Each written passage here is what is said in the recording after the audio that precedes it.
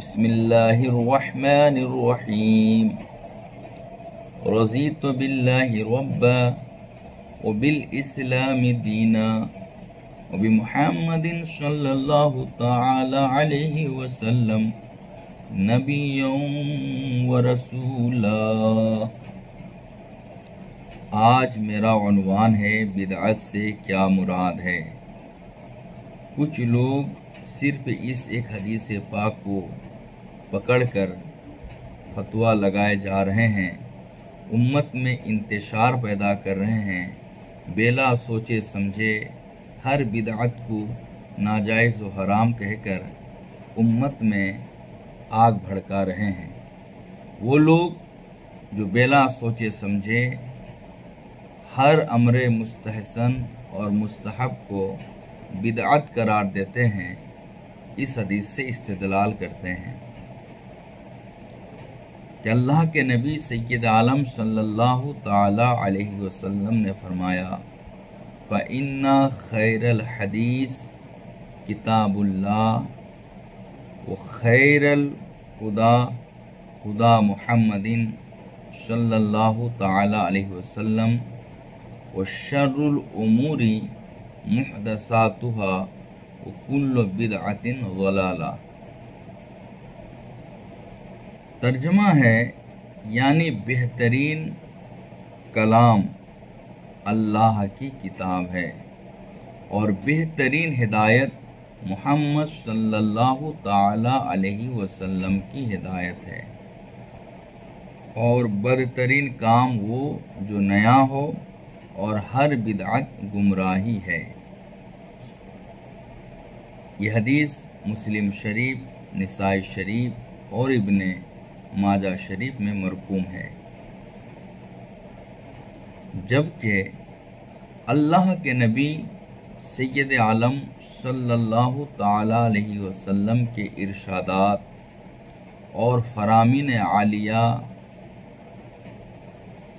इस हदीस के अलावा भी मौजूद हैं, जिनकी रोशनी में सूरत हाल बिल्कुल वाज हो रही है। सही मसलक का तयन हो रहा है। ईका के हक और इब्ताल बातिल का फरीज़ा अंजाम दिया जा सकता है। अल्लाह के नबी ने यह भी फरमाया कि मन आहदसा फ़ी अमरिना हाजा मा लैसा मिनहु फहुआ रद्दुन यह हदीस बुखारी शरीफ में मौजूद है। इसका तर्जमा है कि जिसने हमारे दीन में ऐसी नई चीज़ ईजाद की, पैदा की, जो दीन में से ना हो दीन के वसूल में से ना हो। वो मरदूद है, बेकार है, वो फालतू है। इस हदीस से बात वाज हो गई कि बुरी बिदअत वो नई चीज़ है जो इस्लामी वसूलों से टकराए, इस्लामी कानून के खिलाफ हो। यानी हर बिदअत बुरी चीज़ नहीं है। हर नई चीज़ तो बिदअत है, लेकिन हर नई चीज़, हर बिदअत ये नाजायज नहीं है, बल्कि वही है जो इस्लामी वसूल से टकराए। क्योंकि अल्लाह के नबी ने फरमाया, मा लैसा मिन हो जो दीन में से ना हो। अब मसला यह है कि एक चीज़ बिदअत हो लेकिन इस्लामी वसूल के खिलाफ ना हो। इस्लामी कानून के खिलाफ ना हो। अब उसे करना जायज़ है या नहीं? अब इस सिलसिले में अल्लाह के नबी सैद आलम सल्लल्लाहु अलैहि वसल्लम की हदीस मौजूद है। मुलाहजा करें, आपका ईमान ताज़ा हो जाएगा। अल्लाह के नबी ने यह फरमाया, मन सन्ना फिल इस्लामी सुन्नतन हसना। फलहु अजरुहा व अजरु मन अमेला बिहा बादहु मिन गैर अन कुसा मिन उजूर हिम क्या मतलब? कि जिसने इस्लाम में अच्छा तरीका राइज किया, साहबा ने गर्चे नहीं किया,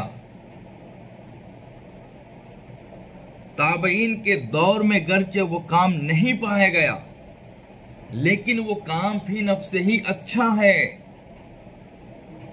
तो अल्लाह के नबी ने इस हवाले से फरमाया, मन सन्ना फिल इस्लामी सुन्नतन हसना, फलहू अजरुहा व अजरु मन अमेला बिहा बाद जिसने इस्लाम में अच्छा तरीका इजाद किया तो इजाद करने वाला गुनहगार नहीं होगा।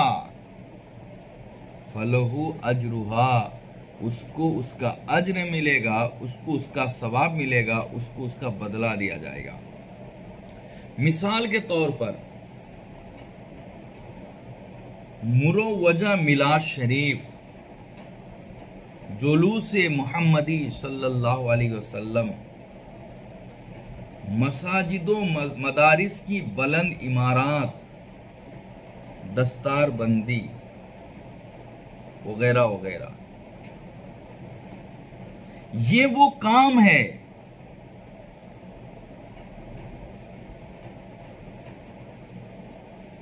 मुरोवजा तरीके पर दौरे साहबा में नहीं हुए। लेकिन यह काम भी नफ्स ही अच्छा है, क्योंकि मिलाद शरीफ में हुजूर की सीरत बयान होती है नाज शरीफ पढ़ी जाती है और अल्लाह का, अल्लाह तबारक ताला की तारीफ़ और तोसी बयान होती है। तो ये तो फिर नफसी अच्छा काम है। ऐसे ही जुलूस मोहम्मदी में नात पढ़ी जाती है, हुजूर की सीरत बयान होती है। हुजूर के नाम से लोग दौरा करके लोगों के जहन दिमाग में हुजूर की वलादत का दिन बसा देते हैं। ये तो काम भी नफसी अच्छा है। तो हजूर ने फरमाया कि जो काम साहबा ने नहीं किया, अगर वो काम भी नफ्स ही अच्छा है, वो जायज़ है, उसमें सवाब भी है। तो लिहाजा आज से ये कोई ना कहना आज से कोई ये ना कहे कि जुलूस जो निकाल रहे हो, क्या साहबा ने निकाला था? मिलाद जो मना रहे हो, क्या साहबा ने मनाया था? बुलंद इमारत जो बना रहे हो, क्या साहबा ने बनाया था? मदरसे बच्चे जो फारिग होते हैं दस्तार बंदी करते हो, क्या साहबा ने किया? ये ना कहना। साहबा ने गर्चे नहीं किया तो क्या हुआ? काम अच्छा है, इसलिए किया जाएगा। हाँ जो काम फीनफ से ही बुरा है उसके बारे में भी अल्लाह के नबी ने फरमाया, मन सन्ना फिल इस्लामी सुन्नतन सैयतन काना अलैहि विजरुहा जिसने इस्लाम में बुरा तरीका ईजाद किया तो उस पर उसका गुनाह है। मिसाल के तौर पर, कब्रों को सजदा करना। ये इस्लामी वसूल के खिलाफ है और ये बुरा तरीका है। पीर को सजदाए ताजीमी करना है। ये इस्लामी वसूल के खिलाफ है और बुरा तरीका है। उंगली में पाँच पाँच अंगूठियाँ पहनना, ये इस्लाम के खिलाफ है और बुरा तरीका है। तो अगर कोई ये काम करते हैं, ये नाजायज व हराम है, ये बिदाते से किया है, और वो काम जो इस्लामी वसूल के खिलाफ नहीं है, साहबा ने किया हो कि ना किया, वो फिनब से जायज़ है, क्योंकि अल्लाह के नबी ने तो खुद फरमाया कि मन सन्ना फिल इस्लामी सुन्नतन हसना, इस्लाम में जो भी अच्छा काम होगा, करने वालों को उसका सवाब मिलेगा, उसको देखकर जो भी अगला वो काम करेगा, उसको भी उसका अजर मिलेगा। और अल्लाह के नबी ये भी फरमाया, मा राहुल मुस्लिमून हसन हसन। जिसको मुसलमान अच्छा समझे वह अल्लाह के नज़दीक अच्छा है।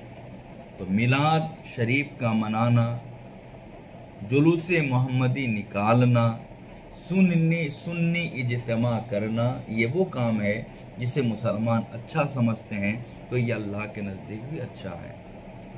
कब्रों को सजदा करना पाँच पाँच अंगूठियाँ पहनना सजदाए ताजिमी करना ये वो काम है जिसे मुसलमान बुरा समझते हैं इसलिए इस, इसका इस्लाम से कोई ताल्लुक नहीं है। इसी तरीके से इब्ने माजा शरीफ और तिरमिजी शरीफ में एक हदीस मौजूद है, अन सलमाना। काला सल्लल्लाहु अलैहि वसल्लम अनि समनी वल जुबुनी वल फिराई। काला अल हलालु माहल्लल्लाहु फ़ी किताबिही वल हरामु महर्रम अल्लाह फ़ी किताबिही वमा सकत अनहु फहुवा मिम्मा अफा अनहु। यानी हज़रत सलमान फरमाते हैं कि अल्लाह के रसूल से घी, पनीर और नील गाय के बारे में सवाल किया गया कि या रसूल सलाम, हम इन चीज़ों को खा सकते हैं या नहीं? तो अल्लाह के नबी ने फरमाया, हलाल वो है जिसे अल्लाह ने अपनी किताब में हलाल करार दिया।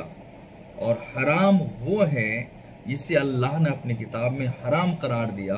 और जिस चीज़ के बारे में खामोशी इख्तियार फरमाई वो उन चीज़ों में से है जिनको अल्लाह ने माफ़ी दी। यानी उसके करने में कोई हर, हरज नहीं है। यानी हराम वही है जो जिसे अल्लाह ने हराम करार दिया हलाल वो है जिसे अल्लाह ने हलाल कहा और जिसे अल्लाह ने हलाल और हराम कुछ नहीं कहा उसके करने में कोई हरज नहीं है।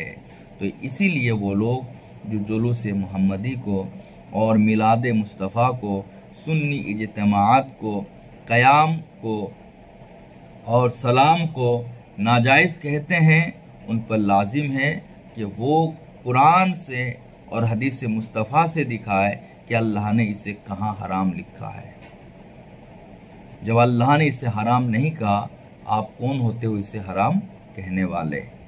और जब अल्लाह के नबी ने यह फरमा दिया मन सन्ना फिल इस्लाम सुन्नतन हसना, जो इस्लाम में अच्छा तरीका राइज करेगा तो फलहु अजरुहा तो उसको उसका अजर मिलेगा, और उसको देख कर जो उस पर अमल करेगा, उसको भी इसका अजर मिलेगा। तो क़याम ये फ़िनब से ही अच्छा काम है। दरूद फ़िनब से ही अच्छा काम है। मिलाद शरीफ फ़िनब से ही अच्छा काम है।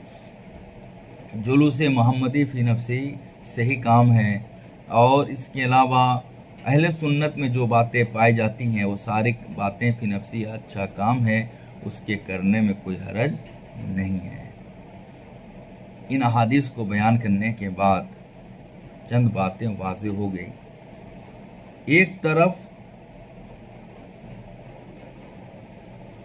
तो अहले सुन्नत पर बिदअत का बेजा फतवा लगाने वाला तबका मौजूद है तो वहीं दूसरी तरफ़ बिदअती लोग भी पाए जाते हैं।